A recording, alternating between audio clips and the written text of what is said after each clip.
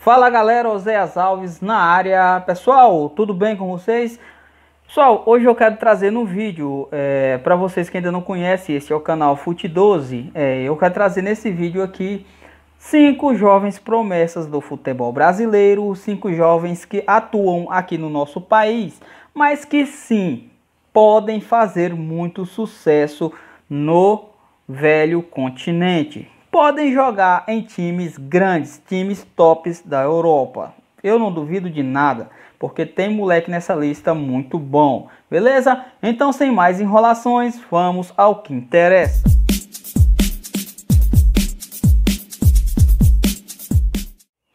Thales Magno, a revelação Cruz Maltina. Pessoal, o primeiro jogador, a primeira jovem promessa da nossa lista é o jovem Thales Magno. O jovem está no Vasco desde 2012. O Thales Magno fez toda a sua base ali no Cruz Maltino. Thales Magno é o mais jovem jogador a atuar pela equipe principal do Vasco no século 21. Na verdade, para falar a verdade com vocês, o Thales Magno em 2019 já poderia ter sim saído do Vasco da Gama. Isso só não aconteceu porque ele sofreu uma grave lesão que inclusive fez com que ele ficasse parado muito tempo.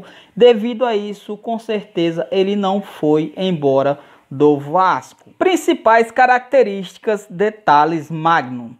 Pessoal, as principais características dele são a habilidade, ele é muito habilidoso, ele tem boa técnica, drible, é um jogador que dribla muito bem, tem muito arranque e muita agilidade. Só que em contrapartida, segundo o site do Footcard, ele é um pouco individualista. Ele quer a bola só para ele. Mas eu acho isso, na minha opinião, que é normal, porque o moleque é jovem, ele quer mostrar trabalho, ele quer mostrar que ele é competente e eu tenho certeza que isso com o passado, com o passar do tempo, vai melhorar. Ele vai começar a tocar mais a bola, vai começar a ver mais os companheiros em campo e provavelmente se tornará um grande jogador.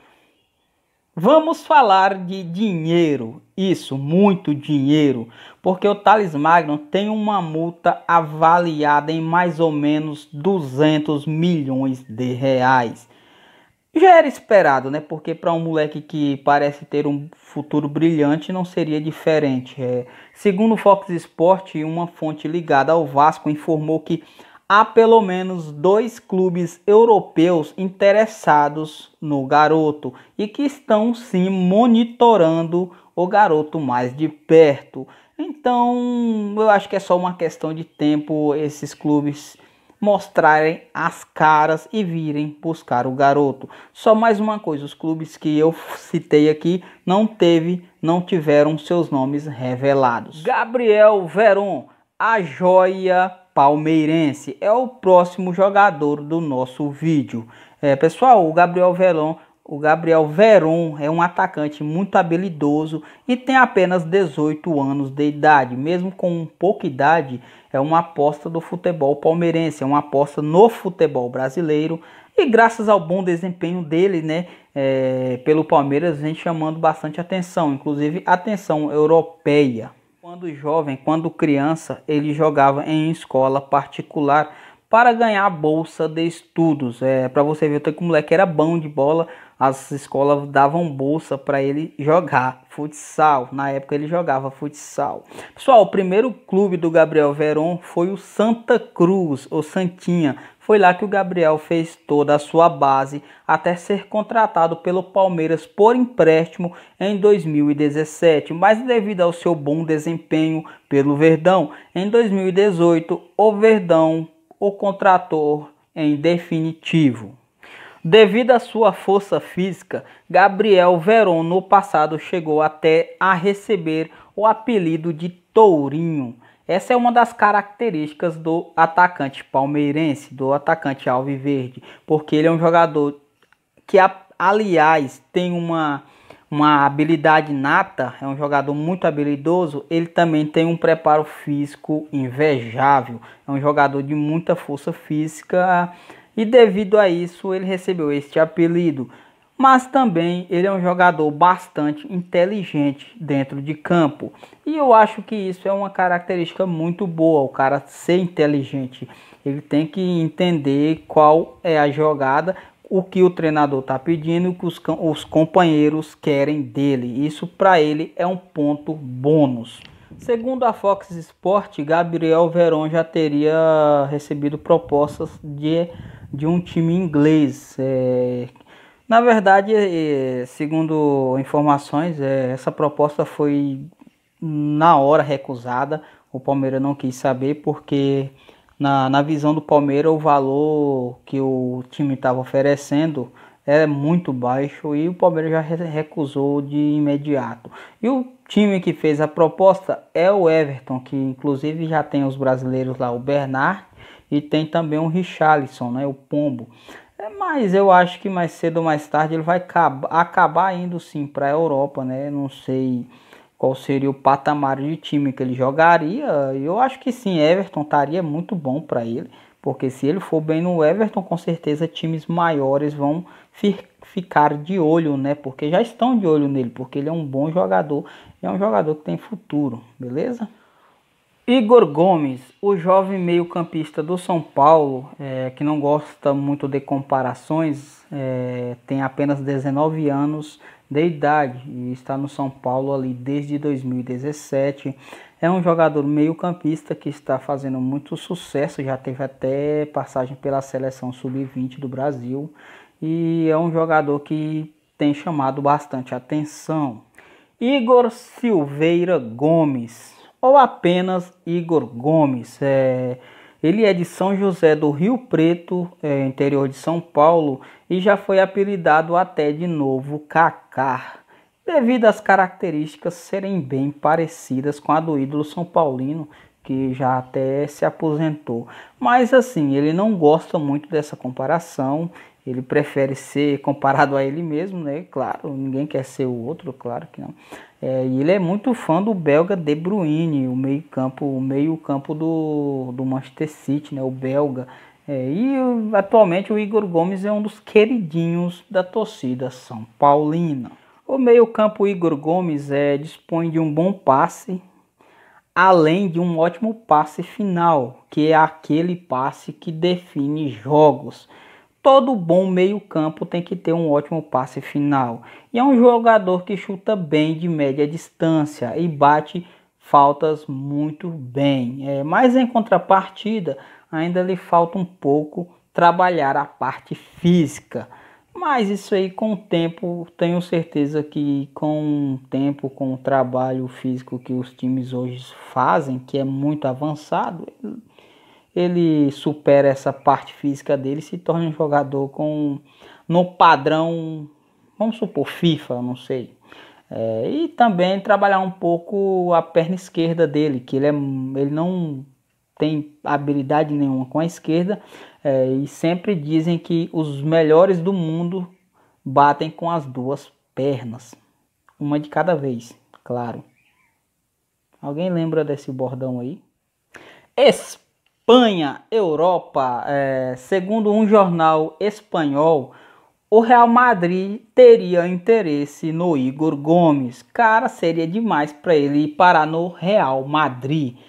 Só que assim, se ele for ao Real Madrid, ele não ia chegar e jogar no Real Madrid, a não ser que ele chegasse e arrebentasse, tirasse Modric, tirasse todo mundo da frente, né? Porque não creio. Tem Modric, tem tem o, o o alemão lá, que eu não consigo lembrar o nome dele agora, tem Casemiro naquelas que faz essas funções ali. Eu não acredito que ele chegaria e já tomaria o lugar desses caras só se ele fosse fora de série. Ele é bom jogador e tudo, mas ele não é fora de série. Beleza? Mas outro time também que tem interesse nele é o Ajax, que inclusive recentemente levou o Anthony, também do São Paulo, né? Que inclusive era, era companheiro do, do Igor Gomes. É, e sim, o Ajax seria assim, uma ótima vitrine para o Igor Gomes, porque o Ajax exporta para dentro da Europa mesmo bons jogadores, jogadores para times muito grandes, que é o caso do zagueiro Delite, né? é, que está jogando na Juventus, está ali ao lado do Cristiano, Cristiano Ronaldo, está jogando num time grande da Europa, um dos maiores da, da Itália. E, também do De Jong, né? O De Jong que joga no Barcelona. Tá mal? Não, então o, o Ajax está sempre ali disputando a, a, Liga dos Campeões, inclusive fez uma Liga dos Campeões irreparável é, recentemente, inclusive com chance de ser campeão e tudo. Mas é, futebol ninguém sabe, é uma coisa imprevisível. Pode falar que ele vai ali, vai lá e acaba indo para outro lugar. Agora nós falaremos de um zagueiro, a jovem promessa da zaga do Internacional do Rio Grande do Sul, Bruno Fux. O zagueirão de 21 anos de idade.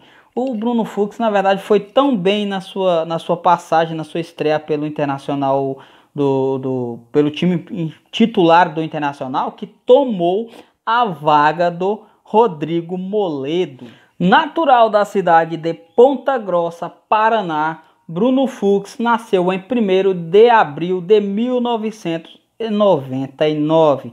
Criado nas categorias de base do Internacional, fez sua estreia pelo time principal em 2019, justamente no ano em que ele foi tão bem e que tomou a vaga do Rodrigo Moledo. Já com muita moral, em 2020, Bruno Fux herdou a camisa 3 do Internacional, a tão querida camisa 3, vestida ali por ídolos como Índio e Figueroa. Tá com moral, moleque, não tá? 1,90 de altura. Fux é um jogador que marca muito forte tem ali um ótimo desarme e é muito bom na bola aérea. Além disso, ele cabeceia muito bem e também tem um bom passe. Só que com porém, na, em contrapartida, ele é um jogador que às vezes tem um certo excesso de confiança. Isso às vezes pode atrapalhar o jogador. Milan, Ajax, Manchester City, e Arsenal já demonstraram interesse em contar com o zagueiro colorado. E por outro lado, o zagueiro colorado já demonstrou interesse em jogar na Europa. Então, na minha humilde opinião, é só questão de tempo e não muito tempo. Segundo o jornalista Eduardo Gabardo, o Inter já teria autorizado o empresário de Bruno Fux a oferecê-lo aos grandes da Europa. Então, se o próprio Inter já autorizou, então logo logo com certeza teremos informações de Bruno Fux voando para a Europa. O último jogador da lista é titular da equipe de Aldair Helman, do Fluminense. O nome do garoto é Marcos Paulo, que vem chamando bastante atenção na equipe titular do Flu. É, além do futebol do Marcos Paulo, outra coisa também que ajuda na sua ida para a Europa é a sua dupla nacionalidade, o que facilitaria demais para ele e para os clubes europeus que o quisessem contratar. Isso porque Marcos Paulo é brasileiro barra português. De São Gonçalo, Rio de Janeiro. Marcos Paulo, de 19 anos, é um jovem muito promissor do futebol brasileiro. Esse jogador ele já fez, ele já passou pelas categorias de base da seleção brasileira e recentemente ele passou pelas categorias de base da seleção portuguesa. No Flu desde 2011, ele fez toda a sua base nas Laranjeiras. E o treinador responsável por trazer Marcos Paulo ao elenco principal foi o treinador Fernando Diniz, que atualmente, né, treina o São Paulo. Isso naquela época que o, o Fluminense estava com dificuldade para contratar, não conseguia contratar ninguém. Então o Diniz foi na base e buscou alguns jogadores que estavam se sobressaindo sobre os outros, se destacando. E Marcos Paulo era um deles. As características de Marcos Paulo é: ele é um atacante técnico com um bom arranque, e o que todo atacante precisa, ele tem, é oportunismo. além de um bom cabeceio e o passe final apurado. E com tudo isso, ele ainda dribla bem. Ótimas características para quem quer jogar em uma seleção ou na Europa. Marcos Paulo na Europa.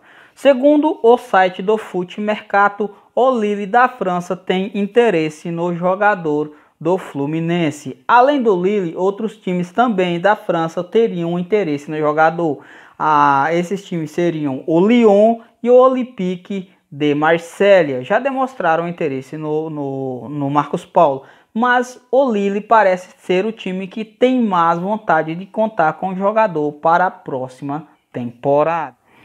Pessoal, essas foram as cinco promessas do futebol brasileiro que podem sim ter futuro na Europa. Pessoal, eu espero que vocês tenham gostado do vídeo, eu espero que vocês tenham gostado das minhas escolhas para fazer o vídeo e se vocês gostaram, deixa aquele like aí, que eu sei que não vai doer o dedo de ninguém, beleza? Mas se vocês não gostarem também, eu, eu vou entender, porque é difícil agradar a todos, mas eu prometo que vou passar a cada dia tentar fazer um vídeo de melhor qualidade, de melhor conteúdo para vocês, beleza? Fiquem todos com Deus e valeu!